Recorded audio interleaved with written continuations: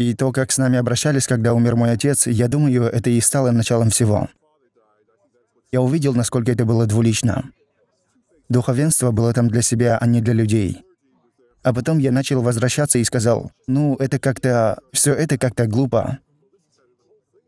И я никогда... Я просто перестал верить. Я начал задаваться вопросами и работать над этим в своей голове. И я пришел к тому, что это больше не имеет никакого смысла для меня. Да, так что, да, у многих людей есть подобный опыт. Это опыт чего-то, что называется проблемой страдания. Это то, о чем вы говорите. Так что многие люди говорят об этом, что у них был какой-то опыт или какие-то страдания в жизни, и они были глубоко религиозными, а затем многие из них оставляли религию. Для меня в этом есть что-то очень интересное, и вы можете сказать мне, что вы думаете об этом. Страдание должно быть данностью, когда вы верите в Бога. Это утверждение, которое я бы лично сделал. Если вы действительно верите в Создателя, и вы утверждаете, что верите в Создателя, испытание единственное, что докажет, действительно ли вы верите в Создателя или нет. Так что если я скажу, например, что а какая разница для Создателя? Я отвечу, нет проблем. Дело в том, что Бог поместил нас в эту жизнь. Какова причина того, что мы находимся здесь, в этой жизни? Это первый вопрос, который нам нужно задать. С нашей точки зрения, как мусульман, мы верим, что мы здесь, чтобы пройти испытания. Так что, когда вы задаете этот вопрос, мы говорим, если эта жизнь испытания, то в этой жизни будут испытания трудности и неудобства. Хорошо? И Бог вознаграждает тех, кто поступает правильно, и карает тех, кто делает зло, верно? Так что поскольку мы живем в испытании, это цель нашего существования в этой жизни, то мы столкнемся с подобными вещами, верно? Но вы утверждаете, что... Вы выбрали утверждать, что вы верующий в этой ситуации или сценарии. Так что если кто-то выбирает утверждать, что он верующий, то разве не должно быть данностью, что к нему придут испытания, чтобы проверить, действительно ли он обладает истинной верой и преодолевает это испытание, придерживаясь своей веры? Потому что если у меня есть друг, я уверен, что у вас есть много друзей, вы знаете, вы очень хороший джентльмен. Я уверен, что у вас много друзей. Так что если у вас есть друг, который говорит, я пойду за тебя на все, и когда вы оказываетесь в трудной ситуации, вам нужны деньги, вам нужна помощь, и вы звоните ему, и он не отвечает, он не помогает вам, и тогда вы узнаете, что он не любил вас по-настоящему. Потому что дело не в утверждении, которое вы делаете, а в поведении, которое вы предпринимаете после этого, верно? Поэтому мы говорим, что Бог испытывает нас в этой жизни. Аллах Азза Ваджалля говорит в Коране, Неужели люди полагают, что их не подвергнут испытанию после того, как они скажут, мы уверовали? Мы уже подвергли испытанию тех, кто был до них. Аллах непременно узнает тех, кто говорят правду, и непременно узнает лжецов. Потому что любой может утверждать, «О Боже, я верю в Тебя». Ты, конечно, утверждаешь, что веришь в меня, но когда случаются трудные испытания, что ты делаешь? И порой мы любим мирские вещи больше, чем Бога. Да, бывает. Есть люди, которые любят своих детей, своих жен, свои деньги. И Бог испытывает нас этими вещами. Хорошо, ты веришь в меня? Я испытаю тебя лишением того, что ты утверждаешь, что любишь меня больше, чем это. Так что давай посмотрим, будешь ли ты на самом деле вести себя в соответствии с тем, что ты говоришь или нет. Так что это часть того, почему мы существуем. Мы здесь в этой жизни. Как мусульмане мы верим, что мы здесь в этой жизни не для того, чтобы просто играть и веселиться. Но мы верим, что это будет в загробной жизни. Нет смысла в награждении рая, если у нас будет все в этой жизни. Какой вообще смысл иметь жизнь? Если бы у вас был выбор, если ты ждешь загробной жизни, почему бы Богу просто не создать загробную жизнь, где все поклоняются Ему? Бог, кажется, очень не уверен в том, что ему нужно поклонение. Ему нужно, чтобы мы были идеальными существами для него. Он, кажется, очень не уверен в своей роли. Хорошо, я отвечу на это. Вы сказали, почему бы Богу просто не поместить нас в рай? Да-да, и это упоминается в Коране. Просто пропустите этот ход. Аллах говорит в Коране. Если вы прочитаете Коран, вы увидите ответ в Коране конкретно на этот вопрос. Аллах Азза говорит в Коране, если бы мы наказали их раньше до того, как поместили в эту жизнь, они бы сказали, «Он наш Господь». Ему не придется никого наказывать. Нет, но те, кто выбирают зло, они не заслуживают быть в раю. Если нет жизни, ты просто продвигаешься напрямую к загробной жизни. Нет-нет-нет, если... Он ведь мог просто создать людей, которые хороши в поклонении. Я имею в виду те, кто любит Бога, но Бог уже сделал это. Он уже сделал это. Вы знаете, кто это? Кто? Ангелы. Итак, Аллах Азза Ваджалля. Аллах Азза Ваджалля – Создатель, хорошо? Это выходит за рамки моего понимания. Нет проблем. Но если мы рассматриваем вещи с исламской точки зрения, то мы принимаем исламскую структуру, верно?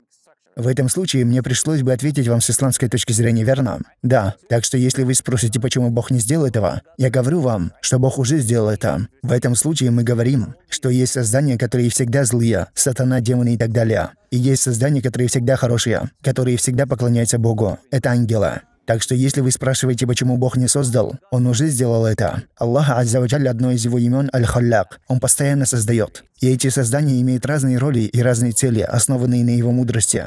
Мы один тип. И этот тип создания проходит испытания в этой жизни. Ему был дан выбор быть лучше, чем, как сказали некоторые ученые, лучше ангелов, потому что у нас есть выбор. У нас есть выбор не повиноваться. У нас есть возможность не повиноваться, но мы все равно повинуемся. Ангелы же никогда не ослушаются. Но так как у нас есть возможность не повиноваться, и мы выбираем повиноваться Богу, так что это будет лучше ангелов. Или мы можем быть хуже животных. Потому что животные просто следуют своим инстинктам и желаниям. Если мы будем делать то же самое, хотя у нас есть интеллект, в то время как у животных его нет, мы можем быть хуже животных. Так что это наш выбор. Вы то создание, которое может выбирать быть лучше этого или хуже этого. Так что Аллах дает вам это испытание. Так что дело не в уверенности. Аллах Адзаваджаля говорит в Коране, Он не нуждается в нашем поклонении. Инна Аллаха ганиюн анкум. Аллах свободен, самодостаточен, Он не нуждается в вас. Но Его не радует неверие Его слуг. Он хочет вознаградить нас. Аллах создал нас в этой жизни, и Он хочет для нас добро. Он хочет помиловать нас. Он хочет вознаградить нас. Вы знаете как? В исламе, если вы совершаете один грех, вам записывается один. Или вы можете покаяться. Если же вы совершаете одно доброе дело, Аллах дает вам 10 раз больше награды. От 700 до числа, которое вы даже не можете себе представить. Исходя из намерения, исходя из того, сколько усилий вы прикладываете в действие. Итак, Аллах не хочет вам зла. Если вы совершаете добрые дела, Аллах прощает ваши плохие дела из-за хороших дел, которые вы совершаете. Итак, Аллах Аззаваджалля, Он хочет вам добра. Он посылает вам пророков, Он посылает вам посланников. Он отправляет вам людей, верно? Он дает вам знаки, когда вы живете своей жизнью. Аллах говорит в Коране, что Он показывает знамения всем людям. Аллах говорит в Коране, мы покажем им наши знамения по свету и в них самих, пока им не станет ясно, что это и есть истина. Поэтому Аллах показывает вам знамения. Аллах показывает вам примеры. Как этот удивительно спроектированный мир вокруг нас — это знамения. Как это прекрасное дерево — это знамения. И то, что с неба не сходит дождь, и мы не контролируем его, и это дерево растет само по себе — это знамения. И когда оно умирает, оно вырастает само по себе. Есть разные растения, прорастающие из земли, разных цветов и разных вкусов. И каждый отдельный фрукт отличается от другого фрукта, верно? И мы не контролируем это. Они питаются той же водой. Мы не добавляем вещества, мы ничего не делаем. Этот цикл происходит без нашего вмешательства. Бог дает вам эти знаки своего существования. Он дает вам эти знаки вокруг вас. Он создает животных и насекомых, которые делают чудесные вещи, которые мы не можем делать как люди. Мы можем видеть удивительные социальные строи. Есть муравьи, у них есть колонии, у них есть система королев, у них есть тюрьмы. Все эти удивительные социальные системы, которые некоторые люди даже не могут имитировать. У этих муравьев нет никаких развитых мозгов, как у нас. И где они поместятся у них? Так что это удивительно, откуда они знают все эти вещи с рождения. Так что Аллах вложил в эти творения эти удивительные механизмы и инстинкты, чтобы они были знамением для нас. Некоторые люди просят знамения, но каждый день вы идете, и вокруг вас 24 часа есть знамения. Все эти творения Бога являются знамением для вас. Но вопрос в том, действительно ли вы поразмыслите над этим или нет. Но позвольте мне задать сейчас другой вопрос. Ну, это тоже очень круговое рассуждение. Это, как и Библия, очень круговое рассуждение. Как ты узнал об этом? Ну, потому что Бог так сказал. Как ты узнал, что это дерево здесь? Ну, Бог поместил его сюда. Вы как бы говорите, посмотрите на Вселенную. Это просто потому, что Бог сотворил так. Но если мы уберем Бога из уравнения, это то, что я собирался сделать на самом деле. Деревья все еще будут там. Но это то, что я собирался сделать на самом деле. Отлично, что вы сказали это. Мы идем в одном и том же направлении. Это не круговое рассуждение. Я объясню вам причину, почему это не так. Потому что я собирался прийти к этому. Итак, давайте перейдем к этому мировоззрению, о котором вы говорили. Рационально. Давайте уберем Бога из картины обсуждения, о которой мы говорим прямо сейчас. Может ли быть что-то из абсолютного небытия? 0 плюс 0 плюс 0 равно чему? Нет, из абсолютного небытия нет. Да. Так что это означает, что если сегодня есть творение, никогда не было момента, когда не было ничего. Это возможно. Нет, это невозможно. Мы просто не знаем. Нет-нет, но вы только что согласились со мной, что нельзя иметь что-то из абсолютного небытия. Но это не значит, что всегда было абсолютное небытие. Нет-нет, я не говорю этого. Я говорю, что никогда не было абсолютного небытия. Хорошо, потому что если бы оно было, то сегодня по определению не может быть чего-то, о чем мы уже договорились. Верно? Так что абсолютного ничего никогда не было. Это значит, что всегда было что-то. И мы знаем, что у Вселенной есть начало. Так что это определенно не Вселенная. Но вы не согласны с большинством ученых? Мы не знаем. Вы не согласны с общим согласием? Мы не знаем, что было в начале Большого Взрыва. Мы не знаем, что именно было в тот момент, даже если там было что-то. Нет проблем. Это было всегда. Да. Но вы говорите, что это дыхание Бога, верно? Нет-нет, я просто говорю, давайте порассуждаем, что бы это ни было. Ладно, давайте разберем материю и энергию, которая, как мы знаем, не является сознательной. Она не действует, потому что мы видим материю и энергию. Так что чем бы ни были эти энергия и материя, которые существовали, они должны были произойти от чего-то другого. И это то, что начало всю Вселенную, в которой мы находимся. Что означает, что есть что-то, что привело в существование то, что начало всю Вселенную, в которой мы находимся. Теперь это то, что мы называем Богом. Так что, когда я говорю, что Бог сделал то и это, я на самом деле просто говорю, что сущность, которая создала энергию и материю и стала причиной появления Вселенной, это то, что мы называем Богом. Так что я не считаю, что в этом есть круговые рассуждения, потому что мы согласны, что невозможно получить что-то из ничего. Это часть, о которой мы ничего не знаем. Ты можешь назвать ее Богом, я могу назвать ее, скажем, не знаю, Богом, частичкой энергии. Хорошо, позвольте мне спросить вас об этом. Когда вы смотрите на... Я скажу вам, я скажу вам, почему мы согласимся с определением того, что это такое. Потому что когда вы смотрите на Вселенную, Вселенная демонстрирует определенные вещи. Мы говорим, что вам нужно, какие атрибуты. Кстати, как вас зовут, можете ли напомнить мне? Джон. Можете ли вы сказать мне, какие атрибуты вам нужны, Джон, чтобы создать Вселенную? Если бы вы хотели создать Вселенную, какие бы атрибуты вам понадобились? Какие необходимые атрибуты вам нужны? Например, если бы я попросил вас создать другую Вселенную, что вам для этого нужно? Но я не очень задумывался об этом. Знаете ли вы, почему вы сильно задумываетесь об этом? Потому что, основываясь на атрибутах, которые вам требуются, этими необходимыми атрибутами будет обладать тот, кто привел Вселенную к существованию.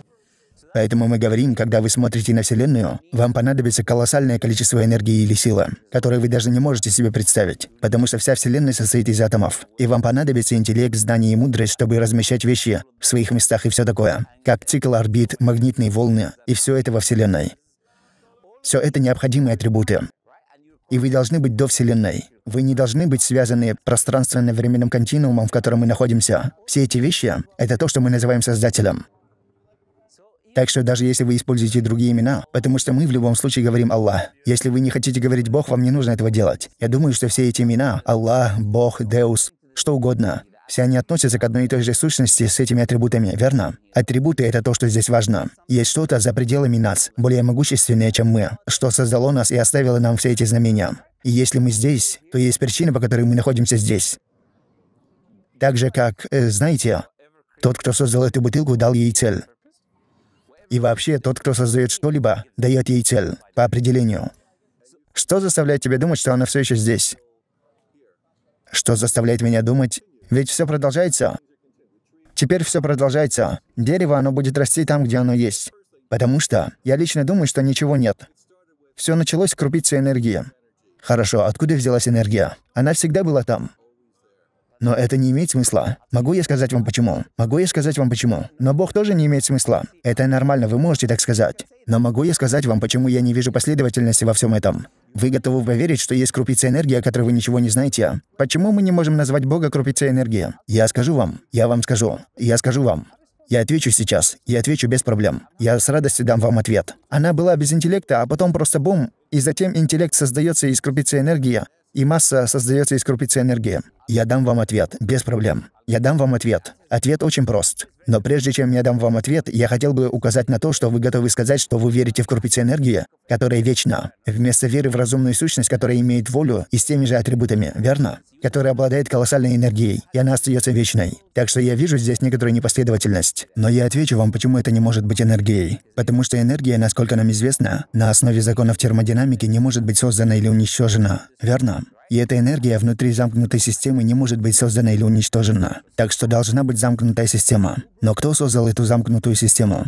Кто поставил такие ограничения для энергии? Это все вопросы, на которые нужно ответить. Так что если есть энергия, она не является сознательной сущностью. Она не может принимать решения и не может приводить вещи к существованию. Поэтому ей требуется внешнее объяснение. Так что все это причины, по которым мы говорим, что это не может быть энергией. Потому что энергия несознательна, она не обладает волей и ограничена.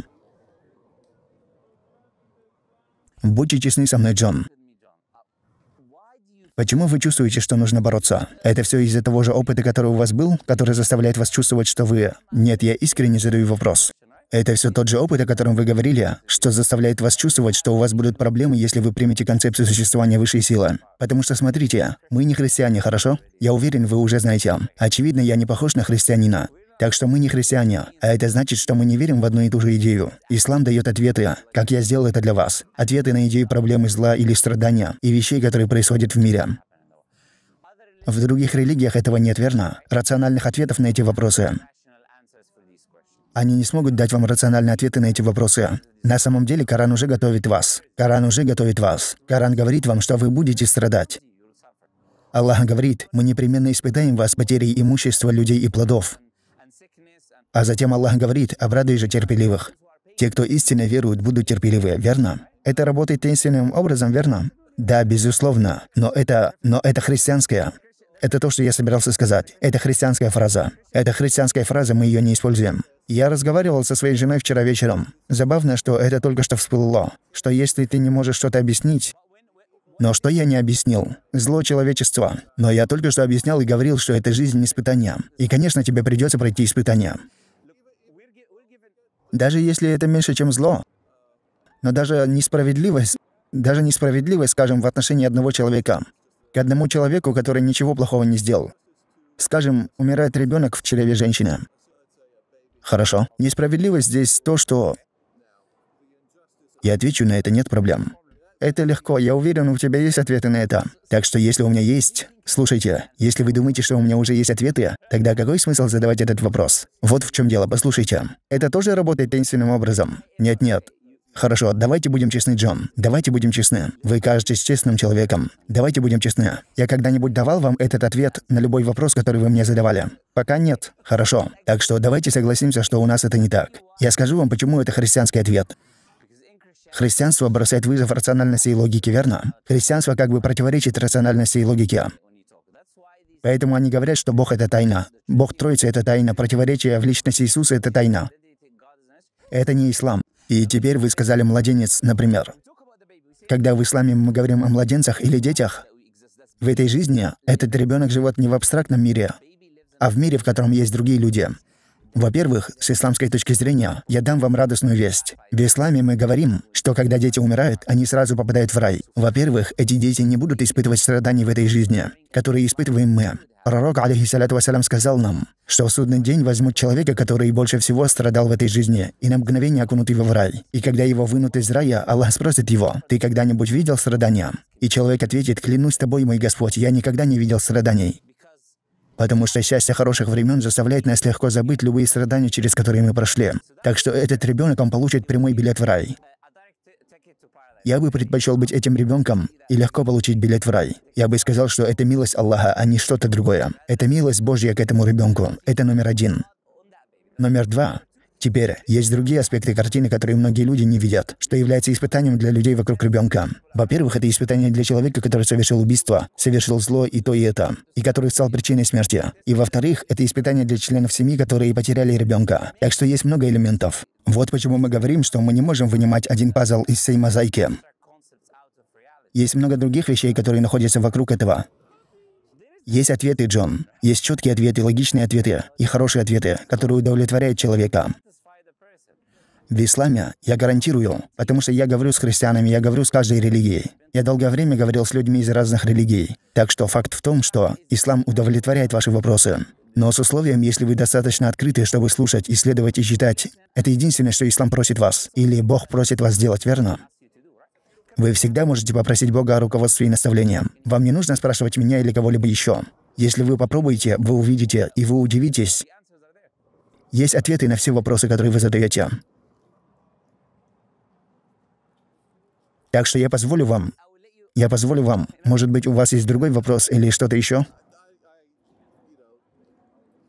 Метафизика — это не совсем моя специальность. Хорошо, это твоя область. Но не настолько я просто... Хорошо, но я не... Я не пытаюсь этого делать. Мы просто пытаемся найти истину в некотором роде, верно? Потому что в конце концов вы пойдете и прочитаете верно. Вам не нужно верить мне на слова. И вы увидите, что то, что я вам говорю, есть там. Коран говорит это верно. Так что это не я умный или... Я ценю это. Большое спасибо. Никаких проблем. Я прочитаю его от корки до корки. И если у вас будут вопросы, добро пожаловать. Знаете, если вы столкнетесь с чем-нибудь, то всегда пожалуйста. Можете задавать другие вопросы. У вас есть еще какие-нибудь вопросы, как думаете? Нет-нет, у меня их нет, потому что я уже... Хорошо.